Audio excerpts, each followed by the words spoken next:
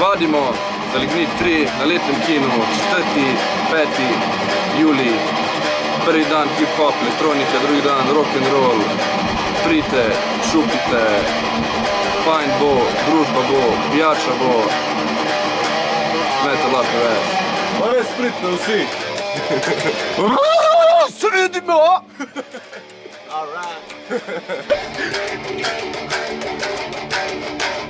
na www.lignit.si